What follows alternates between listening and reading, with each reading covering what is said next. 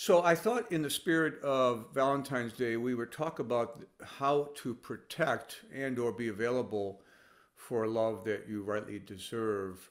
Um, and we're going to organize that discussion though around enmeshment. This, a number of years ago, Judith Wallerstein and a colleague of hers, two psychologists, uh, did a study of 50 couples uh, on the West Coast, uh, married couples, uh, heterosexual. And they were married for seven to 10 years, and she surveyed them and she wanted to know uh, what they did. Uh, and they all reported happy, uh, successful, contented marriages. And she wanted to know what they did. What were the tasks that they accomplished? And so she wrote, they wrote a book called um, The Good Marriage and the Nine Tasks of a Successful Marriage. And the first um, task that the couples reported to the researchers was complete separation from family of origin.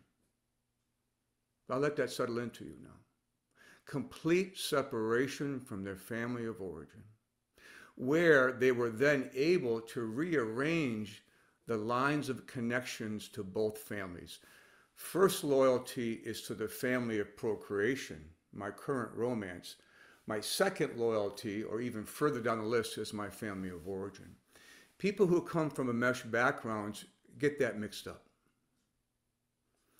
And they're bound and torn by guilty obligatory contracts to family members. I, I'm beginning to call that the family brain these days. The family has one brain and you don't get a vote, so to speak. And, um, and if your loyalty lies to your family, you're in trouble because there's only so much availability you will have to your partner. And so if you come from enmesh background, you always feel like your emancipation should be a co-assigned agreement. And you're waiting for your parent to bless your emancipation. Don't wait. It ain't coming. You deserve it.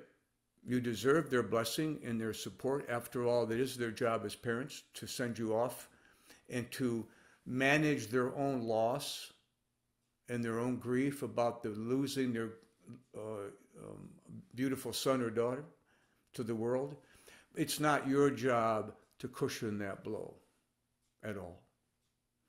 It's your job to unfold the life that you're supposed to be living fully, including your romance. So to whatever extent that in these enmeshed systems that you have entangled yourself with your family of origin, and or the parent who is primary in that will prejudice you, leave you uh, less available to the journey that you're supposed to be having, including that of romance. So the first thing that you can do on this Valentine's Day is to begin practicing some emancipation.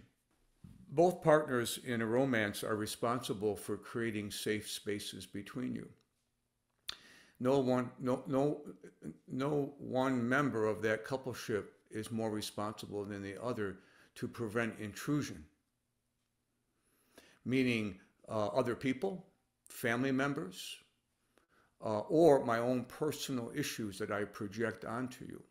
So we have a responsibility to protect the space by which we share with our beloved.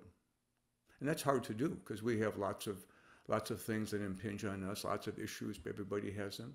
It's hard to keep that a perfect space, and yet the more conscious you are about it, the better. So another recommendation for Valentine's Day is to create a very, a very specific um, space between you and your partner.